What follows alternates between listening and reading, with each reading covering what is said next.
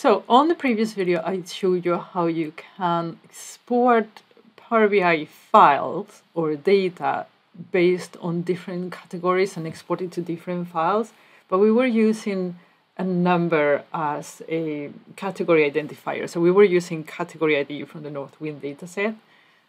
In this case, we want to export a file for beverage sales, for condiment sales at different files, obviously, and using the category name instead of the category number. So let me show you how that is done. It's similar, but a bit different.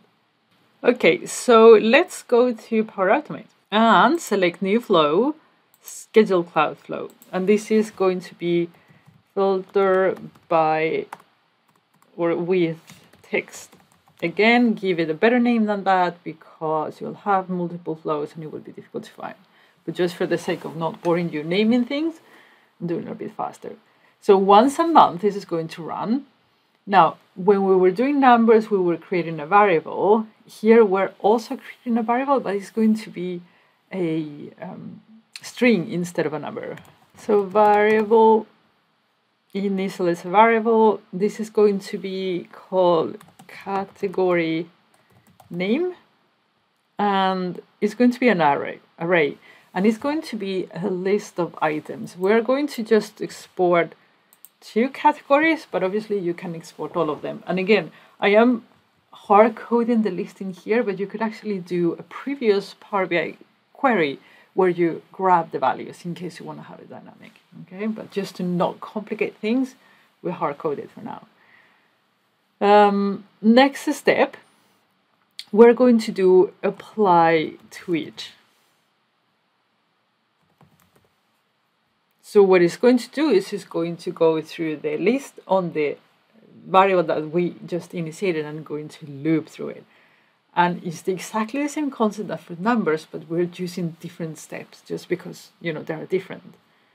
So apply to each and here's going to be the category name. So we're saying for each category name, do X, Y, Z. And what we're going to do is first run a query against the data set. So that's the Power BI. And I have an entire playlist that explain how this works, how to create this DAX expression, how to uh, change the name of the columns, how to do all kinds of stuff. Just please Curbal Learning Portal or the playlist on YouTube and you have everything there. So I'm going to copy the DAX definition. First pick the, the data set, then copy the DAX definition. This is going to create the table that we want before extracting it. But here instead of having category ID, obviously we want to have current item, which is basically the category name that we're creating in here, but it's being looped. Next, we're going to create the CSV file, which is going to be the rows.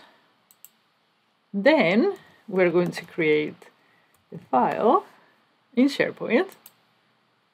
And then on the next video, I'm going to show you how you can actually put these in different folders in SharePoint. So I'm going to put them all in one folder now, but on the next video, we will split it.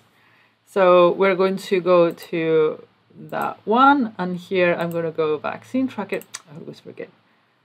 And then we're going to get the downloads folder. And I'm going to put all the downloads in there, but they're going to be by category. File name is going to be current item, which is going to be the category name of that loop.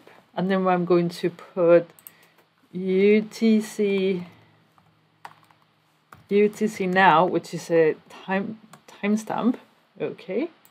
And remember, which I always forget, to put the file extension, otherwise it would be like a blank file and you don't want that. And then the output is going to be obviously the CSV table that we previously created.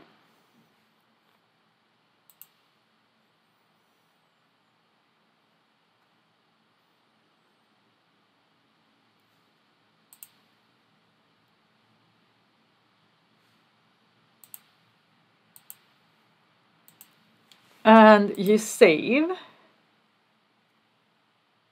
you test,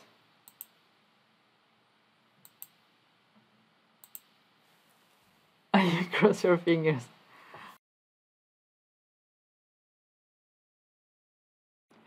And you have to put these into brackets, otherwise into quotation marks, sorry, because otherwise it would not be read as text. So I'm going to leave the errors in there, so in case that happened to you, you know what happened. So test done, and now you should be okay. Come on. okay, looking better. So if it's gone that far, it means at least that the DAX query is okay. So hopefully we should have a download soon. Let's go to the download folder and wait a second. No, it's not there yet. Green. And then we have the dairy products and the seafood. So yes. So on the next video, we're going to modify this slightly so we can put it in different folders in SharePoint, and then you can have obviously different permissions, so different people can see different things. You know where I'm going, and I'm going to put it in a different video so people actually can find it. That's the only reason.